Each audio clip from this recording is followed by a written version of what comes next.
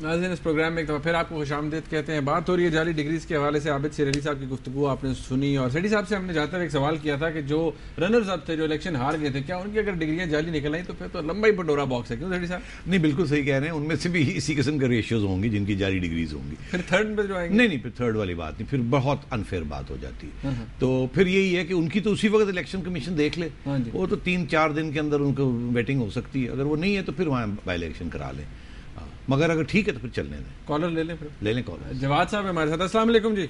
अस्सलाम वालेकुम सर। वालेकुम सलाम जी। हाँ सर जवाद चुगताई बोल रहा हूँ। ये सेठी साहब से एक जरा थोड़ा सा आ, एक मसले की तरफ़ तवज्जो करवानी थी। ये जो गवर्नमेंट ने ये अठारहवीं तरमीम जो बनी है और लेकिन इस पे अमल दरामद तो नहीं हुआ जबकि गवर्नमेंट इसको डिफेंस करने के लिए सुप्रीम कोर्ट में चली गई है। और काबीना जो है अभी तक कोई उसमें कमी नहीं हुई। ये कब तक हो जाएगी? आपके कोई थोड़ा सा आप इसके ऊपर रोशनी डालें और इसके ऊपर प्रोग्राम करें। मेहरबानी जनाब मैं समझता हूँ कि आठवीं तरवीम जो ये अठारहवीं तरवीम जो है इसके ऊपर सुप्रीम कोर्ट का फैसला गालबन अगले महीने के अंदर अंदर आ जाना चाहिए।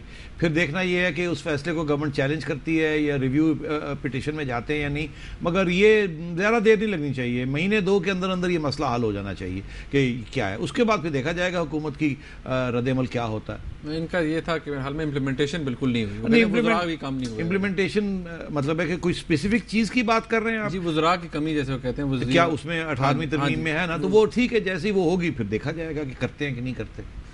नईम साहब है हमारे साथ। अस्सलाम वालेकुम। वालेकुम जनाब।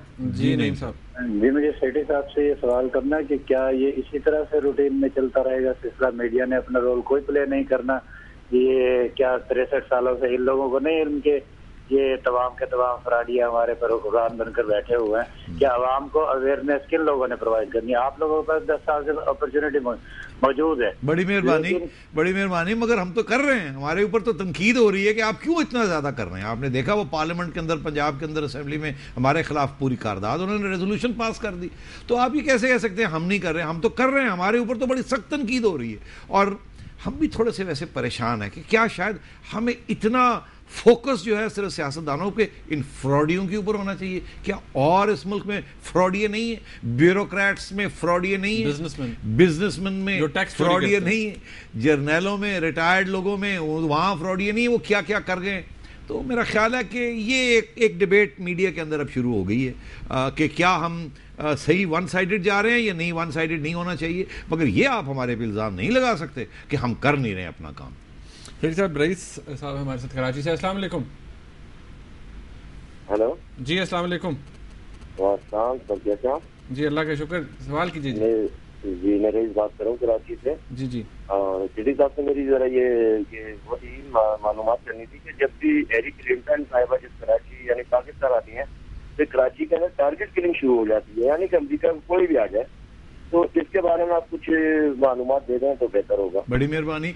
मगर आप कैसे ये कह सकते हैं कि जब ये होता है तो टारगेट किलिंग शुरू हो जाती है? मतलब मैं मतलब छः महीने आठ महीने से अखबारें सुबह पढ़ता हूँ तो टारगेट किलिंग चल रही है। रुकती कब है कराची में? ऐसे तो जरदारी साहब जब जाते हैं कराची तो टारगेट किलिंग शुरू और, हो और जाती है। और नहीं सिर्फ़ जरदारी साहब के जाने से नहीं अब मुझे बताएँ टारगेट किलिंग जरदारी साहब जाएँ या ना जाए ये होती रहती है। ये ज़रूरी नहीं है कि टारगेट किलिंग जरदारी साहब के जाने से हो जाती है। क्या आपका ये इशारा है कि जब जरदारी साहब जाते हैं तो टारगेट किलिंग शुरू हो जाती है फिर एम क्यू एम के डिमांड्स बढ़ जाते हैं फिर जरदारी साहब एम क्यू एम के डिमांड्स कंसीड कर देती है? ये आप ये आप कहना चाह रहे हैं? मेरा ख्याल है कि टारगेट किलिंग में सारे लोग उसमें सारी एथनिक कम्युनिटीज़ इन्वॉल्व हो जाती हैं सिर्फ़ एक साइड नहीं होती। और सिर्फ़ जरदारी साहब के आने जाने से नहीं होता। शायद आपको ऐसे लगता हो मैं इस पर अगर आप कहते हैं तो और मैं रिसर्च कर लेता हूँ कि क्या ग्राफ बढ़ जाता है जब जरदारी साहब होते हैं और उसके बाद गिर जाता है। क्या ये कंसिस्टेंटली हो रहा है? मुझे ऐसे नहीं लगता है मगर अगर आप कहते हैं तो मैं इसको स्टडी कर लूँगा। जी साहब जहूर साहब है हमारे साथ कोयटा से। अस्सलाम वालेकुम। वालेकुम जी। मेरा नजम सेठी साहब से आ, सवाल है कि ये पाँच अरब जो मुल्क का डूब रहा है इलेक्शन के हवाले से तो ये एक बदनीयती का कानून था तो उसको इम्प्लीमेंट ये किस तरह हो रहा है ये सारा समझ में नहीं आ रहा ये सारा किस्सा जो ये ड्रामा रचाया गया है ये इस तरह तो नहीं होना चाहिए था? ये आप बाई इलेक्शंस की बात कर रहे हैं? जी जी बाय इलेक्शन क्या आप कहना चाहते हैं कि बाई इलेक्शन नहीं होने चाहिए? बाय इलेक्शन देखें कानून जब बदनीयती के ऊपर पास किया गया था तो उसको क्यों इम्प्लीमेंट करवाया गया था सुप्रीम कोर्ट से? नहीं, कानून जो बना था सुप्रीम कोर्ट ने तो उसके, उस कानून की नफी कर दी ना। सुप्रीम कोर्ट ने 2008 में कह दिया कि वो बुनियादी हकूक के खिलाफ है।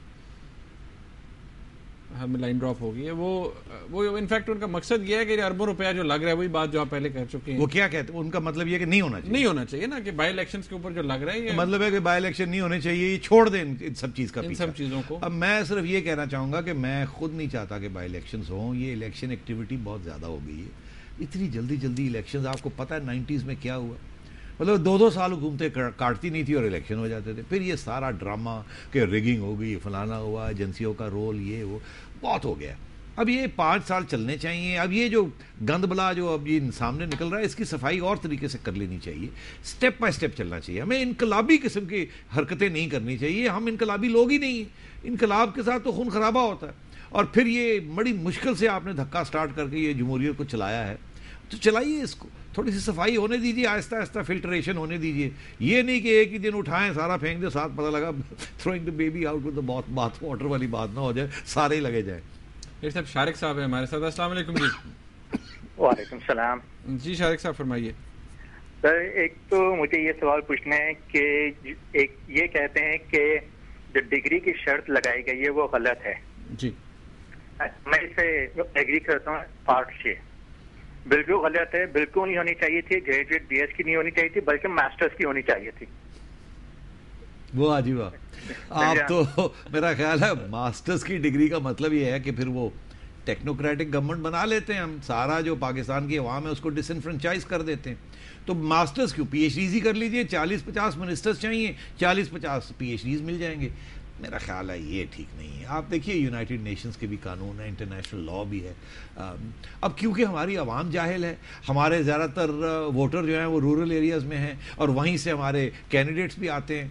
और उनकी डिग्रीज नहीं है तो इसका मतलब है सारी रूरल एरियाज़ और लोअर मिडिल क्लास को डिसनफ्रेंचाइज कर दें। कितनी परसेंटेज पॉपुलेशन आपकी? लिटरेसी आपकी सत्तर परसेंट इलिटरेट लोग हैं। तो इसका मतलब है सारा जो इलेक्ट्रल वोट है वो भी फिर फारक कर देना आप। तो क्यों उनको जिन जिन उनको क्यों हक देते हैं? फिर आप ये भी कह दीजिए कि वोट भी वही डालेंगे। अगर एमए वालों ने कैंडिडेट होना है तो कम अज कम मैट्रिक वाले फिर वोट डालें। मगर मैं आपसे ये अर्ज़ करूँ ये डिग्रियाँ पाकिस्तान की डिग्रियाँ इसमें कुछ नहीं पड़ा इसमें ना विजडम है ना दयानतदारी है ना इसमें कोई शूर है। ये फ्रॉडिया डिग्रीज है वैसे ही। तो ये कंडीशन मुशरफ साहब ने एक एक तरीके ये जैसे फौज आती है वो लोकल गवर्नमेंट को की अहमियत देती है और पॉलिटिकल पार्टीज़ और मेन स्ट्रीम पार्टीज़ को ख़त्म करने की कोशिश करती है अपनी कंस्टिट्यूंसी बनाती है। अयूब खान ने किया जयाल हक ने किया मुशरफ साहब ने ये किया। तो ये एक सियासी एक, एक, एक स्टेप था। अब ये मैं समझता हूँ ये डिग्री शिग्री की कंडीशन होनी नहीं चाहिए। इससे कोई फ़र्क नहीं पड़ता। आपने देखा जो डिग्री वाले भी हैं उनकी क्या शूर है? उनमें है शूर या नहीं? है और जो डिग्री वाले नहीं भी हैं उनका हाल आप देख लीजिए। एक ही सारे ये एक ही खा, एक ही खाता है। तो ये मेरा ख्याल है ये डिग्री शिग्री वाली बात ख़त्म ही होनी चाहिए।